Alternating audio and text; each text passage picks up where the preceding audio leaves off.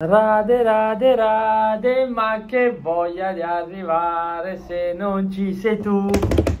Io non posso... Na, na, na. Buon pomeriggio amici dello zoccolo duro, invece che mare mare, rade rade. Ho fatto un po' male oggi la canzone, devo ammettere che l'ho fatta un po' male, ma mi rimprovererete con calma. Tra l'altro visto che anche il mio amico Briga ormai fa tutte le intro cantate, tra l'altro lui ci butta giù i Pink Floyd, cioè fa roba seria però mi fa piacere che le mie intro cantate prendono piede, si vede che piacciono, si vede che rimangono in testa, quindi l'ho inventate io anni e anni e anni fa e mi fa piacere che la gente segue, anche se le faccio stonate.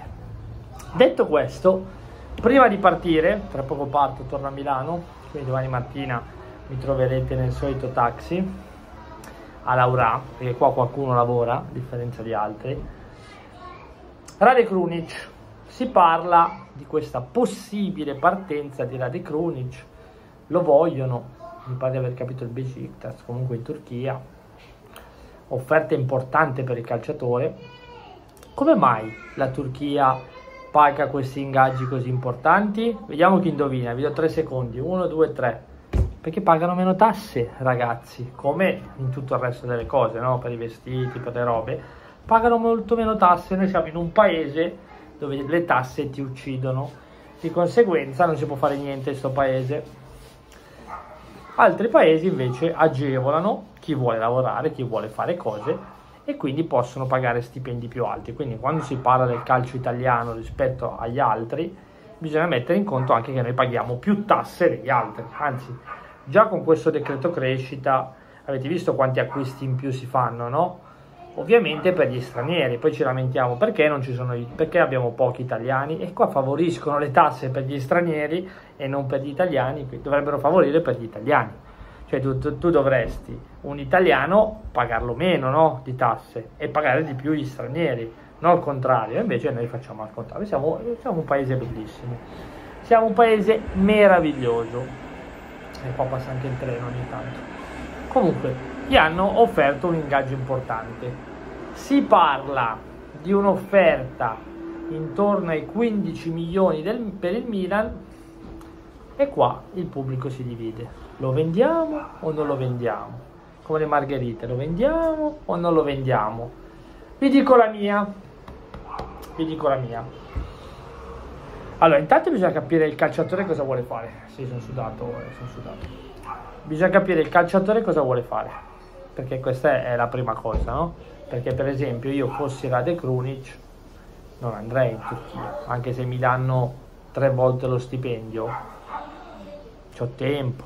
Cioè, ormai con questi arabi, queste robe qua, cioè a fine carriera, è vero che ho quasi 30 anni, mi pare, no? Però magari aspetto ancora quest'anno magari, magari non vinciamo niente, però magari sì, cioè, secondo me nei prossimi due o tre anni può essere che qualcosa si vinca, no?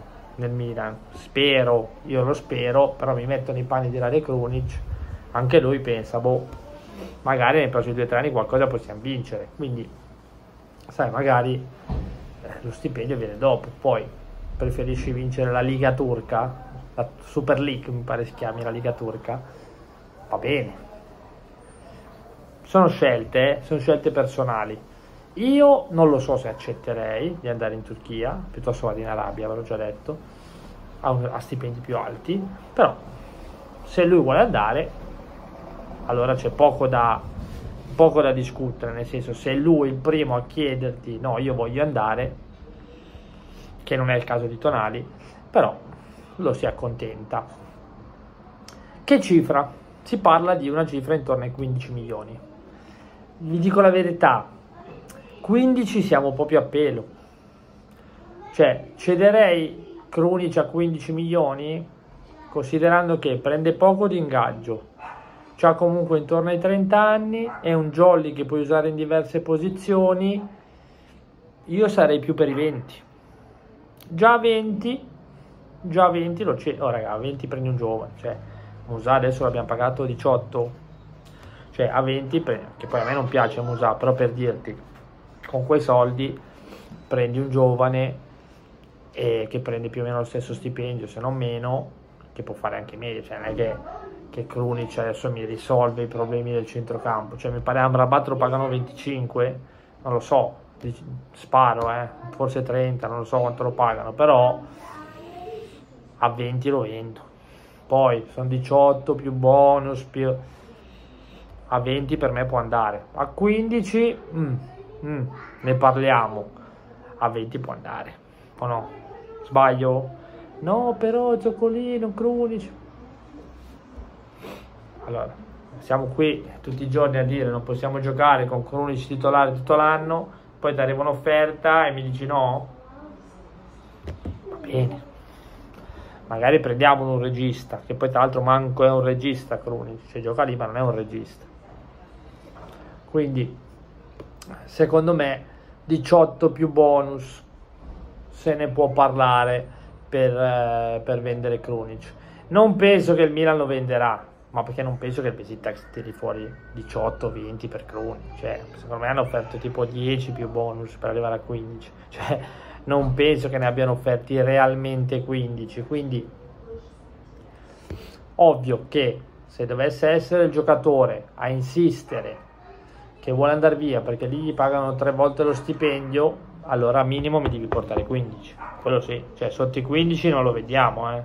sotto i 15 si dice no, c'è il contratto e non me ne frega niente, non ci sono aumenti, non c'è nulla, cioè questo è sicuro, però non penso che si arrivi allo sconto con Rade, poi mi sembra uno da quando è arrivato con umiltà ha avuto sempre voglia di imparare, di fare bene al Milan, infatti è cresciuto, l'anno scorso ha avuto un periodo dove c'è stato un periodo dove pensava di essere il fenomeno, si metteva a litigare, ricordate? Cioè in Champions con l'Inter, che mi ha preso gli schiaffi, lo voglio ricordare chi se l'è dimenticato.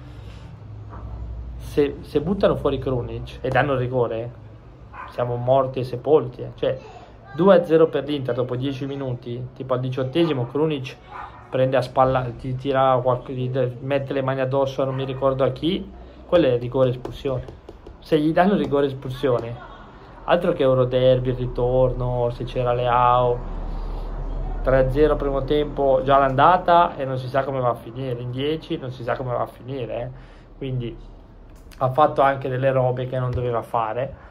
C'è stato un periodo che si metteva a litigare con tutti più di una volta.